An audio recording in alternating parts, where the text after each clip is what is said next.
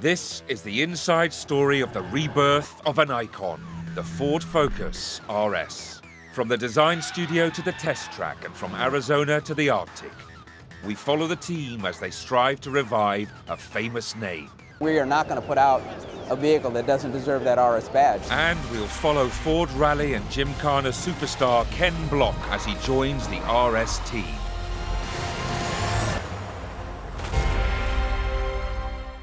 We're at Ford's European headquarters in Cologne, Germany, to meet the teams who must design the new RS and crash it. For the past 18 months, the design team have been working on a clay model of the new RS, led by Joel Piaskowski, head of design, Ford of Europe. The RS is really at the top of the mountain, so to speak. It's the most aggressive looking, but it has the most performance story to tell at the same time. So it, it's, it's form following function.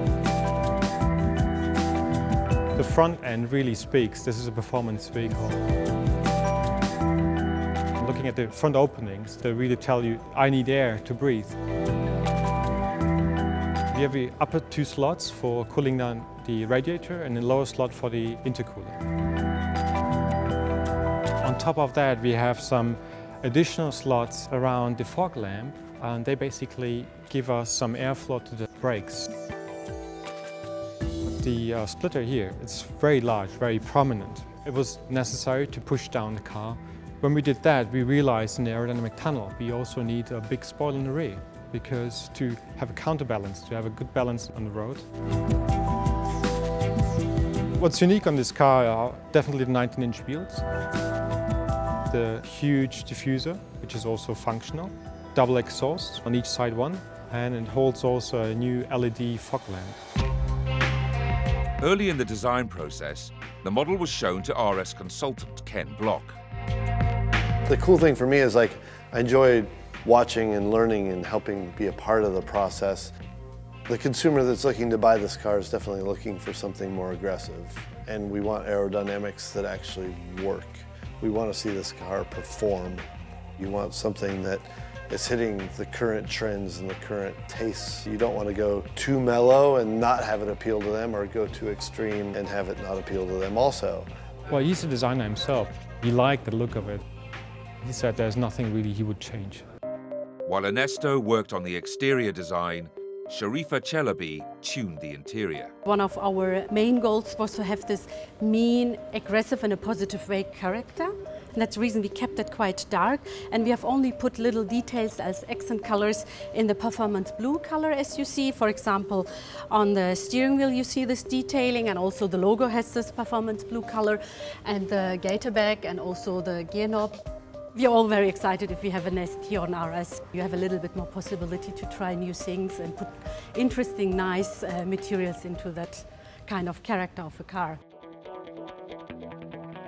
Just a short walk from the design studio is Ford's Crash Test Centre, where Christian Marschner is preparing for today's sacrifice. We are doing round about one test per day. That means round about 250 crash tests per year. And today we will do a Ford Focus RS M1 oblique side pole impact. It simulates a side impact onto a tree, for example, which means a pole made of steel. It has a two inch diameter. And yeah, the car hits it with 15 degrees angle and 32 kph. To meet all the global safety standards, Ford will crash 28 RS prototypes before the car is launched. We have um, around about 75 meters of track to accelerate, then bang, and then car is crashed.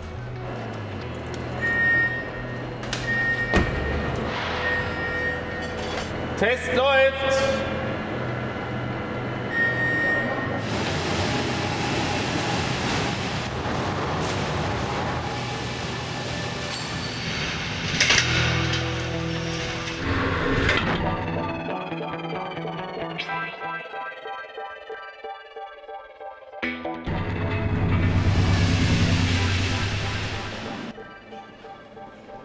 That's a usual crash test. Yeah. Another car broken. Yeah, that's right. Yeah, yeah. It's a pity, but someone has to do it. Yeah. the car and crash test data will now be analysed by a team of experts here in Cologne as the development continues. Next time, we head to the US for a crucial development drive. If we can't fix it, usually it's, you know, park it, cover it, someone stays with it, we call a wrecker in.